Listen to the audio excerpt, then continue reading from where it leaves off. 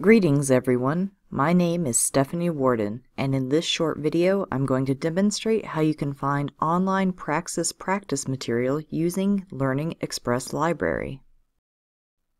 First thing is first, we need to locate the Learning Express library. To do this, click on our Databases A to Z tile. Now, locate the Learning Express library. You can search for it in this box, or navigate to the L's and find it alphabetically. Click on the link to continue. You may see a pop-up asking you if you want to proceed. If you want to utilize the resources in this tool, you will need to click Continue.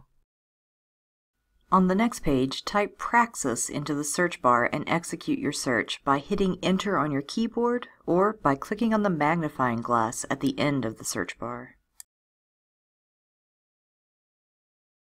You will see several pages of results. Limit your results to only practice tests by unchecking the eBooks box.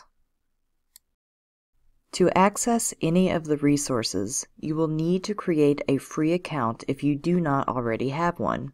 To create one, click on the Register button and use your UW Superior email address. You will be prompted to create a password, but note that this password is separate from your UW Superior credentials, so it will not update when you have to update your logins for school. You will want to make note of the username and password you create if you are creating a new account. If you are following along in another browser, take a moment now to pause this video and create a new account if you need to.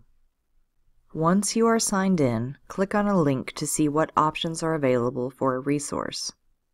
Let's look at this practice test. As you can see, this practice test allows you to take the 120 question test in three modes. Simulation, which mimics time constraints you would find on a real exam. Practice, which will time you, but will not abruptly end the test should you go over time and Learner, which allows you to see the answer to each question as you go.